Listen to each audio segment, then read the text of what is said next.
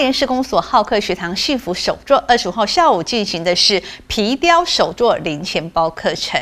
学员们在老师指导下，一针一线缝制属于自己的零钱包。虽然正是防疫期间，不过课程一开出呢，报名人数很快就额满了。而市公所也会持续开办类似课程，来丰富民众的生活。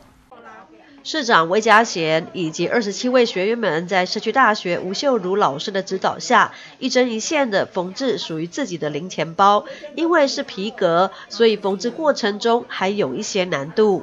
哦，真的不简单，手做的东西真的跟一般机器比起来比较有温度。但是手做过程，你可以了解到，其实做皮革这件事情，还有缝车，还有一些。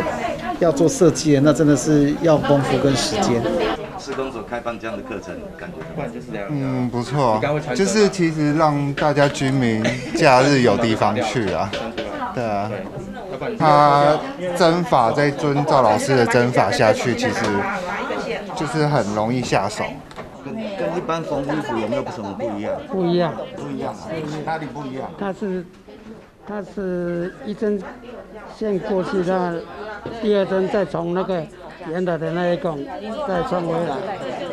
虽然正值防疫期间，不过课程一开出，报名人数就很快额满。市长魏家贤表示，这一阵子因为新冠疫情的影响，许多大型活动都暂停，大家也都闷了许久。市公所借由小班形态的课程，希望市民乡亲走出家中，找到自己喜欢的班别参与。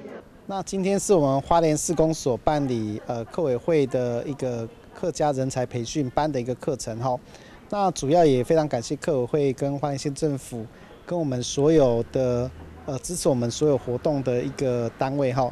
那我们今天也特别请到我们呃社区教育大学的陈秀茹老师来帮我们上这些皮雕的课程。